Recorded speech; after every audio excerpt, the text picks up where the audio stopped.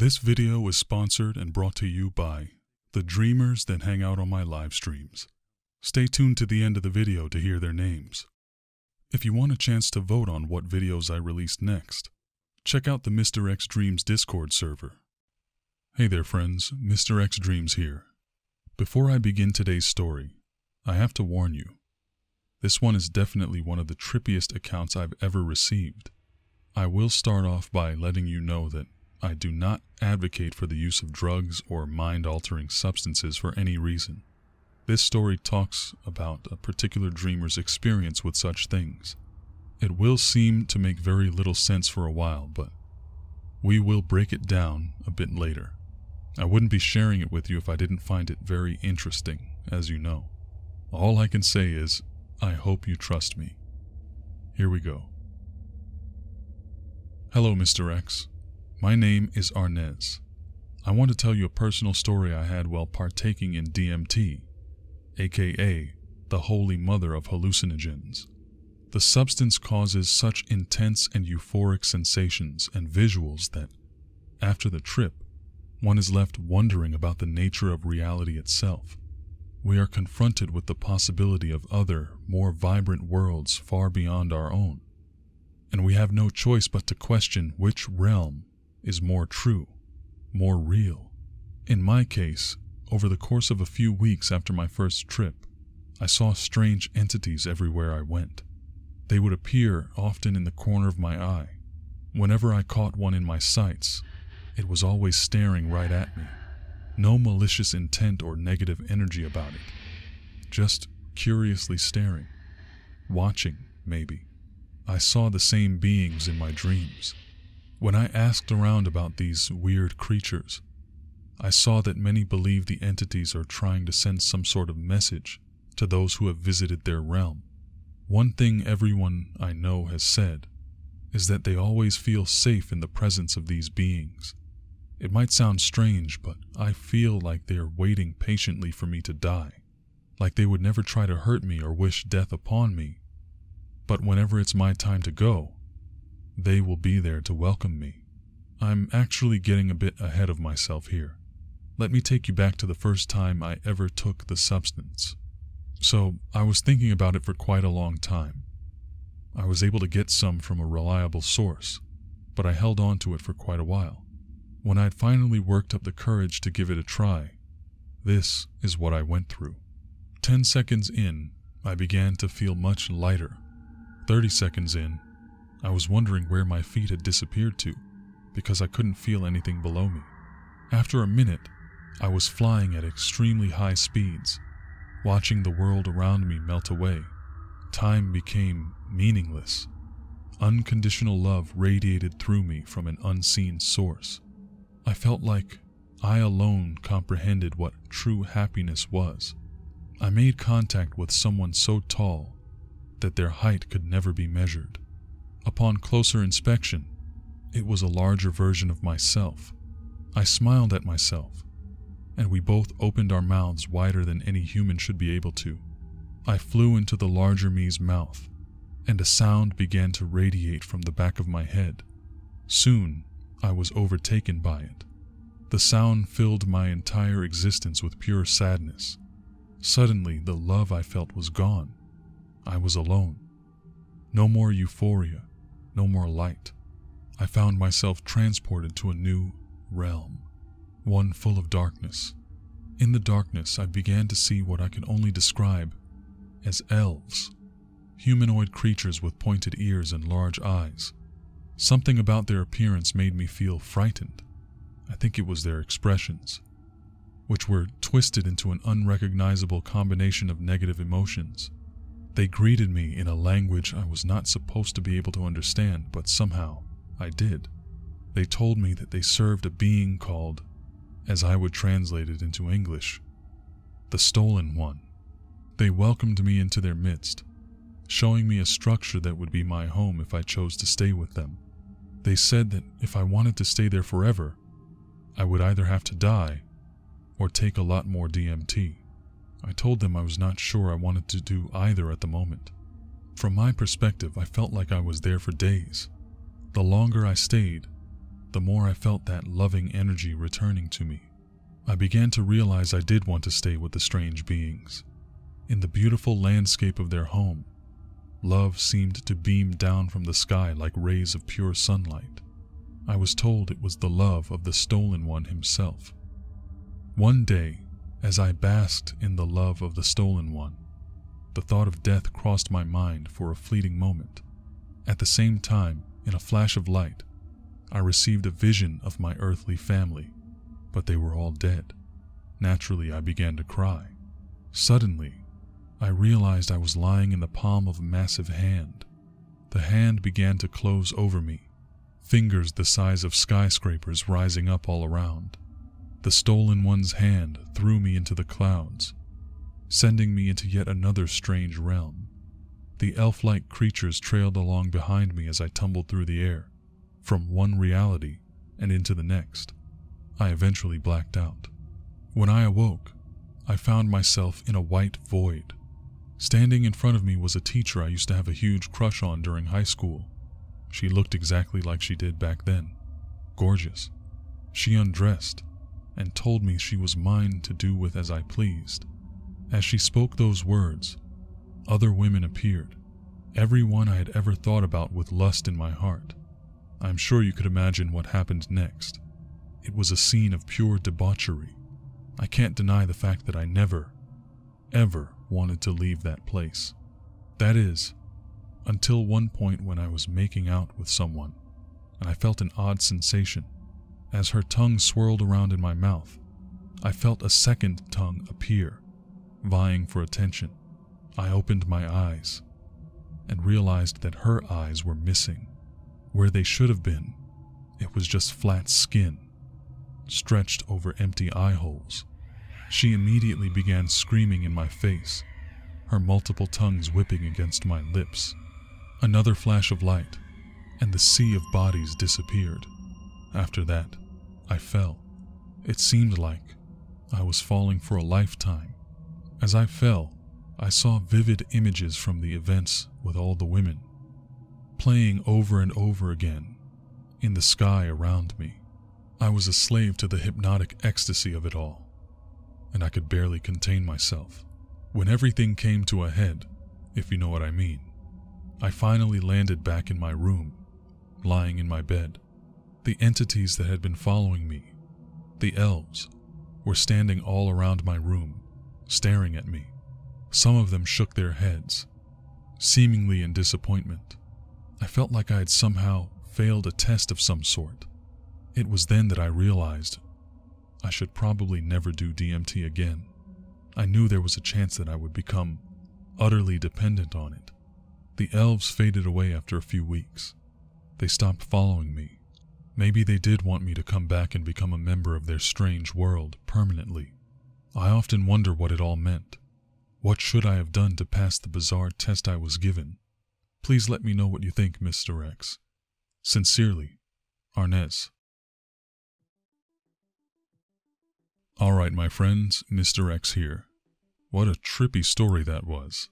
First, I have to say again, I do not advocate for the taking of drugs at all. But if I'm honest, I always have been fascinated by the idea that we might be able to access other planes of perception by using mind altering substances like that. The fact that many people say that when on DMT in particular, there are some common themes and common images or even characters that people tend to see independently of one another. That's really it makes me wonder if there's truly a real alternate plane of existence that we simply need that alter, altered state in order to access. I, when I was writing this, and uh, I thought of a sort of an analogy. Imagine it's like Disney World, for example. Say there was a Disney World on every continent, right? And uh, there might be, actually, I don't know. So if you buy a ticket, you can go to Disney World and see all the wonderful sights, the characters, the same characters wherever you go. You hear the music of your childhood, all that great stuff.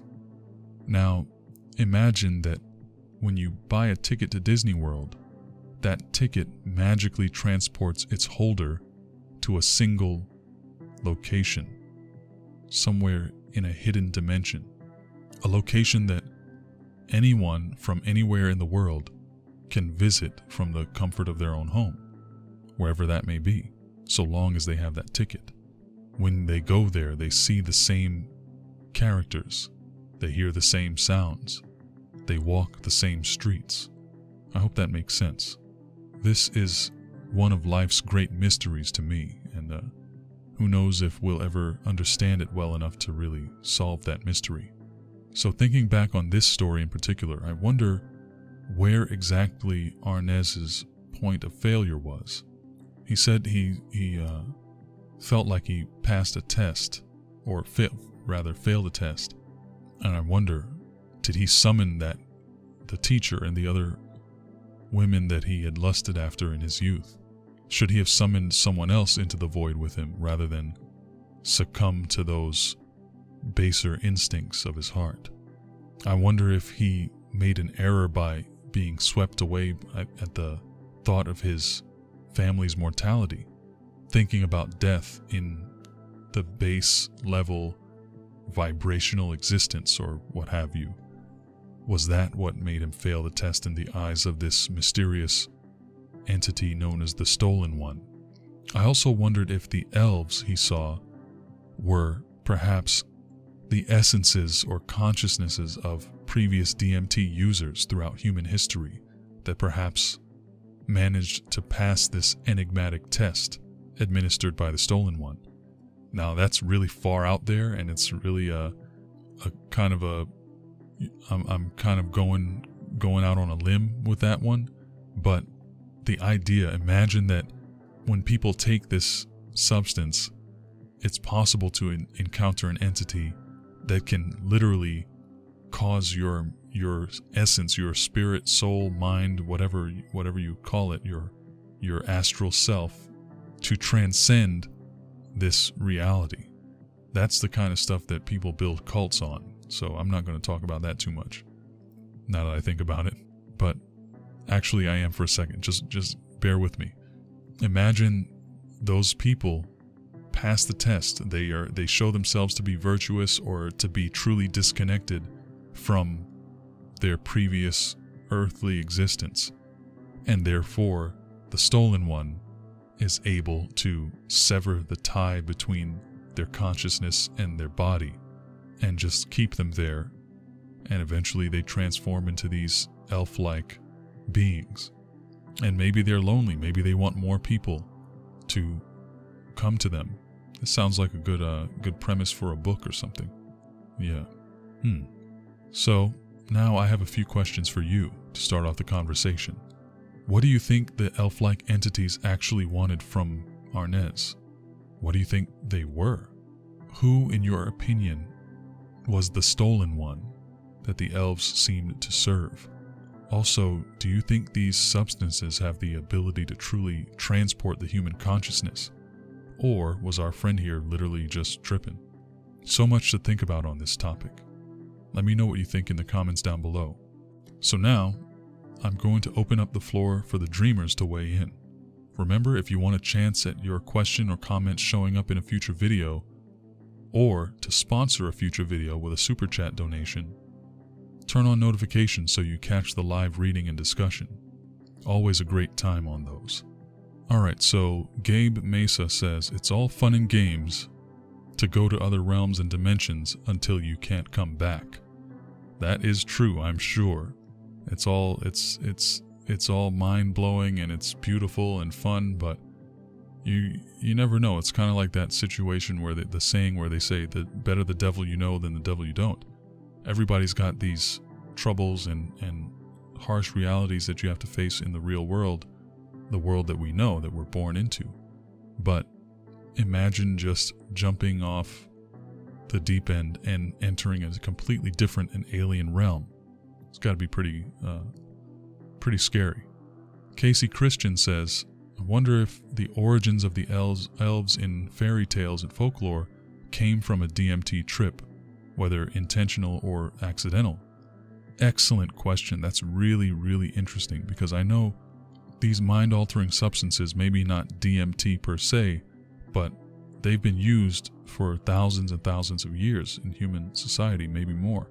So perhaps, perhaps a lot of our modern folklore or folklore that we have now, and even the notions of superheroes and, and mutants and monsters and things like that, there could be there could be the case that someone a long time ago saw certain certain things, kaiju, Godzilla, crazy things like that. We never know. We we probably never will know actually, but it's fascinating to think about. Terico Tomoso says, "Me personally, I'm perfectly happy with the amount of DMT my body already produces. Not interested in adding more." That is interesting. I, I didn't know that the chemical DMT in particular is produced in the human brain. I mean, I'll take your word for it on that because I'm sure that there's, I mean, I feel like I have heard that before, but imagine someone whose glands in their brain just became overactive and created more of that than is normally needed or normally uh, whatever is useful to the body. It kind of seems like we have the ability innate within ourselves to access these things naturally if only we could find that switch in our brain to do it. Very interesting question. Reed says, Seems like the stolen one wanted to steal the story writer away from this reality. Uh, yeah, it's that that could be it. But Cindy had something to say that's also um, along those lines. We'll get to that in a second. Lorie Long says fairy folklore contains many, many stories about them luring people and children away. The ones about children often tell of changelings being left in place of humans that are stolen. That is a good point. That is a good point. I wonder if if the uh, fairy lore might have influenced Arnez's uh, visions here. That's that's an interesting point. It's very there are a lot of uh, parallels there someone being taken from one reality and, you know, who knows if they would have replaced them. So, last but not least, Cindy S. says, Elves are tricksters. The demon women could have just been them tricking him into staying. And the stolen one could have been someone else that the elves had tricked into staying. So, who knows who the stolen one is, but I would definitely say, well, you know what? Let's let's break it down for a second. When when Arnez initially thought about his family dying, that was the first time he seemed to be cast out of the paradise level that he was on, where he was really thinking, you know what? I would like to stay here. So there's two ways, there's more than one way of, of thinking about this. If the giant hand threw him into the next, into another level, where his crushes and all the people, all the women that he was always all ever attracted to were there and willing to obey his every command. That that could have been a distraction technique to say, "Hey, don't worry about death. Don't worry about what your family's doing back in the real world. Here, have all this debauchery that, that to your heart's content." Or it could have said, "You know what? He's too connected. He might be too connected to the world for our purposes. So let's give him let's give him a test. And the reason why I feel like it was a test and and he might have failed was because of the the disappointment that he perceived from the elf-like entities when he ended up back in his home because he when he he he uh, did what he did with all the women and he was kind of booted out of the, the experience after that. And imagine going through all that, landing in your bed, and the, the creatures that were trying to get you to stay are now just shaking their heads like, man, you, you messed up. Very fascinating, very interesting uh, concepts in this story. It's this is one of the most unique stories that I've done on the channel, as far as I know. I don't remember where I got or when I got this email, but I once in a while I go back and look at old emails that I've not not uh, opened, and I believe this was one of them because I've never spoken about this before. So thank you to Arnez and thank you to all those who uh, super chat donations, sponsors for the video uh, during the live chat. And thank you very much for you all's uh, participation with these amazing questions and observations for this story. It uh, adds a lot of value to when I do these. So, the first person who was able to come up with a good code word for this story was Gabe Mesa, who simply said, elves. If you're listening to this part of the video, type the word elves in your comment down below so I can see who the real dreamers are. Until next time, my friends, take care.